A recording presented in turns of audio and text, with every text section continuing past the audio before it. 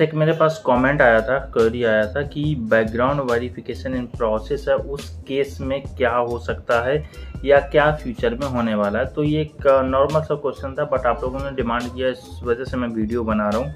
इतना बड़ा ये टॉपिक नहीं है। तो बेसिकली होता क्या है कि जब आप आ, किसी एक कंपनी में अप्लाई करते हो जॉब के लिए आपका इंटरव्यू प्रोसेस होता है। इंटरव्यू प्रोसेस होने के बाद में आपके डॉक्यूमेंट सबमिशन होते हैं आपके आधार पैन और सैली स्लिप वगैरह एवरीथिंग आपके डॉक्यूमेंट सबमिट होते हैं। एंड इसके बाद में आपका इनिशिएट होता है बैकग्राउंड वेरिफिकेशन तो बैकग्राउंड वेरिफिकेशन आपका आ, तीन स्टेज में होता है। पहला होता है कि आपका डॉक्यूमेंट सबमिशन का हुआ। आपके पास एक लिंक आया, आपने डॉक्यूमेंट सबमिट किया, जिसको हम बोलते हैं इनिशिएट हो गया। एंड जो सेकेंड प्रोसेस होता है, वो होता है कि आपका जो बैकग्राउंड वेरिफिकेशन वो इन प्रोसेस है या ऑन गोइंग है तो वो एक सेकेंड स्टेज हो गया। एंड थर्ड स्टेज होता है कि आपका बैकग्राउंड वेरिफिकेशन ग्रीन हो गया, यानी कि कंप्लीट हो गया। तो ये बेसिकली तीन मेजर पार्ट होते हैं किसी भी बैकग्राउंड वेरिफिकेशन के एक कंपनीज़ में। एंड लाइक कंपनीज़ बोल लो कि आप मोस्टली एम कंपनी या फॉर्चून 500 या मिड लेवल के ऑर्गेनाइजेशन में।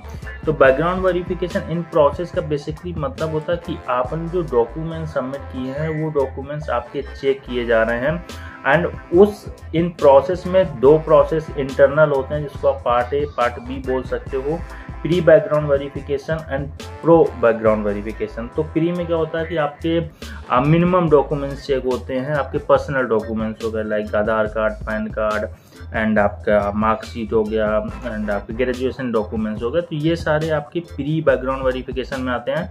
एंड सेकेंड प्रोसेस में क्या होता है कि आपका पोस्ट ये बोल लो या प्रो बैकग्राउंड वेरिफिकेशन बोल लो तो उसमें क्या होता है कि आपका प्रोफेशनल डॉक्यूमेंट चेक होता है। तो अगर आप एक एक्सपीरियंस कैंडिडेट हो, उस केस में आपका offer letter experience letter joining letter and आपकी कम प्रीवियस कंपनी से एक ईमेल रेफरेंस ईमेल पे बैकग्राउंड वेरिफिकेशन चेक तो ये सारा प्रोसेस आपका आता है पोस्ट या प्रो बैकग्राउंड वेरिफिकेशन के अंडर। तो बेसिकली इन प्रोसेस का मतलब ये होता है कि आपका बैकग्राउंड वेरिफिकेशन ऑन गोइंग है। उस ऑन गोइंग में आपके दो पार्ट हैं जो कि चेक किए जाएँगे। आपके प्रीवियस ऑर्गेनाइजेशन में तो अगर आपके बैकग्राउंड वेरिफिकेशन में 45 डेज़ से ज़्यादा टाइम लग रहा है तो आपको अपने एच टीम से अपडेट लेना चाहिए अपने बी के बारे में कि अभी कहाँ तक है, क्लियर हुआ, नहीं हुआ। एंड इसमें कोई डरने वाली बात नहीं है। आप इजीली अपने एच से पूछ सकते हो कि मेरा बी कहाँ तक क्लियर हुआ। अगर आपको सस्पेंस है, कुछ भी डाउट है अपने डॉक्यूमेंट्स में तो अपने बी से आप ज़रूर अपडेट रहें। एंड आप एच से डायरेक्ट ले सकते हो तो उसमें ऐसा कुछ नहीं है कि लीगल है या कुछ भी। आप डायरेक्ट अपने एच से पूछ सकते हो। बाकी इसके अलावा भी आपका कोई कॉमेंट या क्वेरी है, नीचे मुझे कॉमेंट सेक्शन में बता सकते हो।